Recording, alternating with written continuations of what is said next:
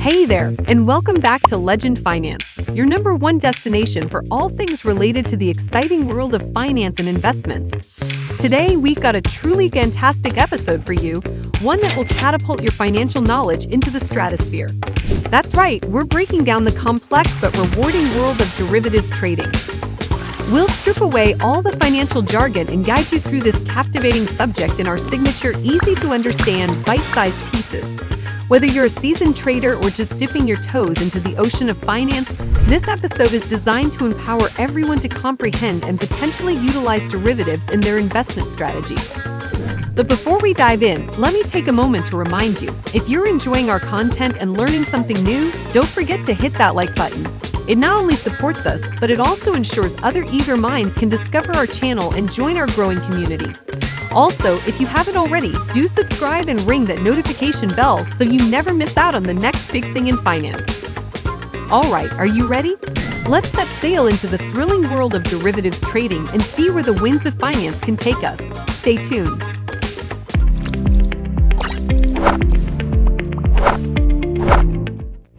Financial derivatives. A derivative might sound technical, but it's just something that draws its value from another item.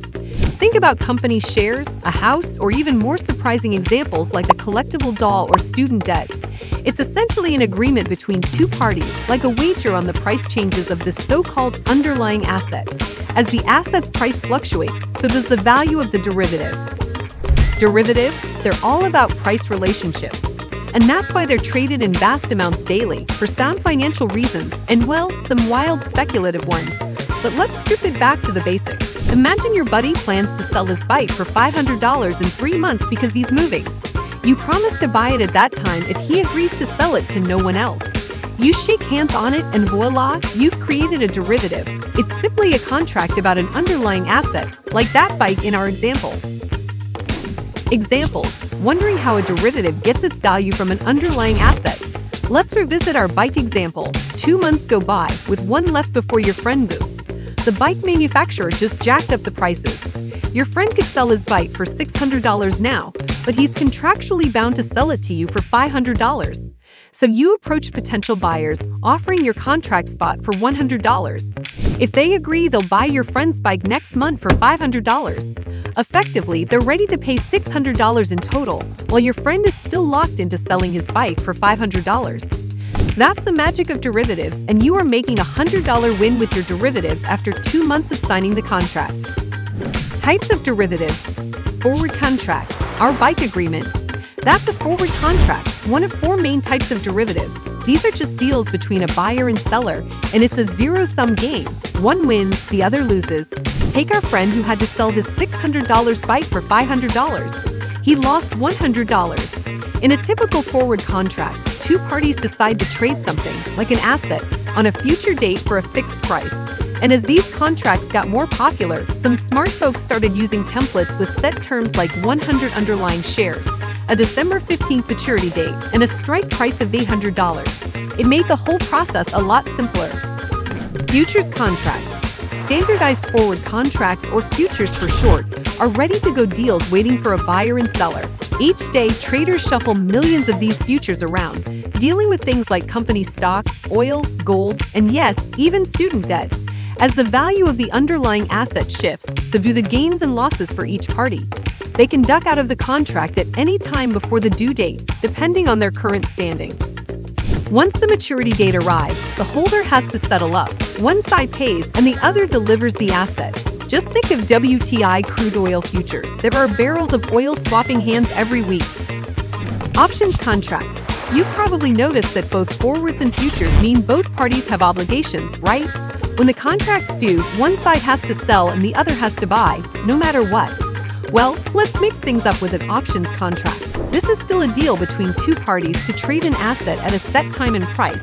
But here's the twist they've got an escape hatch. With options, parties can choose whether or not they want to follow through with the deal.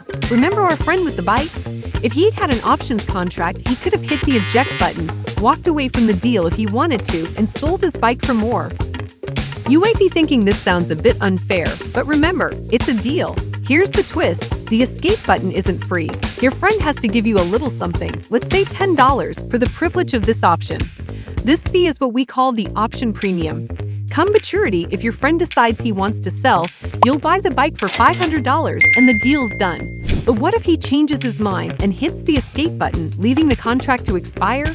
He keeps his bike and you pocket the $10 premium. And if you want the option to sell instead of buy, that's called a put option. Put option.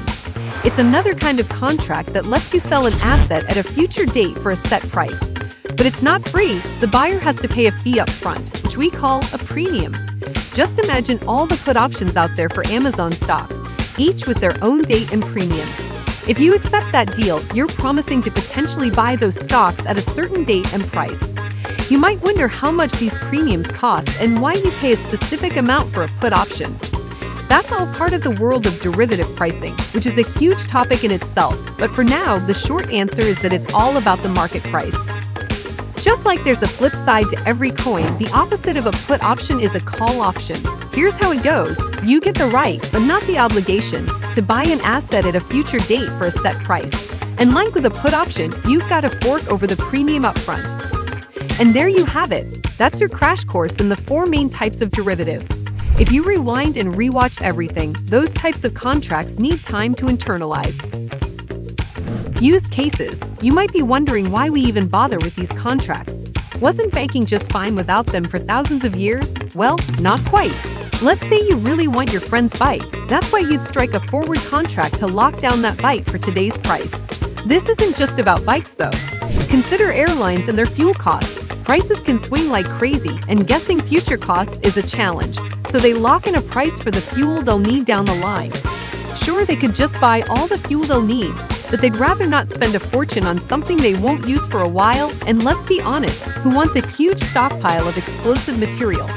So they look to the future. They secure a price now for something they'll need in six months, never even dealing with the actual fuel. Then at the last minute, they sell the contract and either make a profit or take a loss. This process of securing a new contract for the next period is called rolling over your future. With fuel hedging, if oil prices go up, the airlines make a profit from their derivatives, which offsets the higher fuel costs. The lower cost of fuel lessens their losses on the derivatives if prices decline. This clever use of derivatives is known as cost hedging. Now back to our bike example. Maybe you didn't even want the bike, you just suspected its value would rise over time. That's using your derivative for speculation. Speculation. Imagine buying a stock and seeing its price rise. That's a good feeling, right? But with the same investment, you could have bought 100 call options or entered more futures. This is called leverage, which means a tiny market shift can make a big difference in your portfolio. But remember, it's a double edged sword. If you're wrong, your options can end up being worthless, and you might lose your initial investment. With futures, there's no eject button. Sure, you can also bet on a price drop by selling call options or buying put options.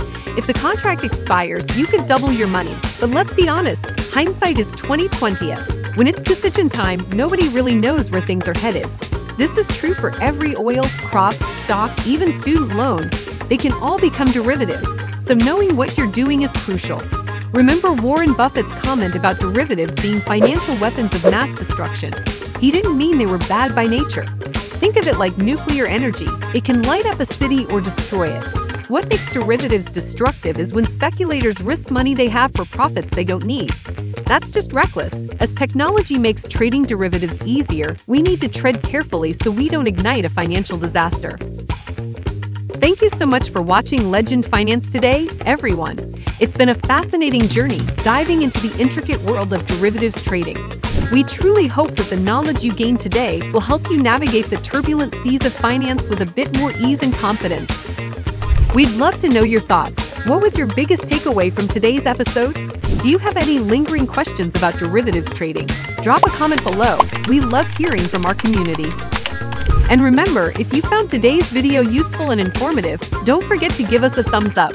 It helps us immensely and allows us to keep providing top-notch content for you.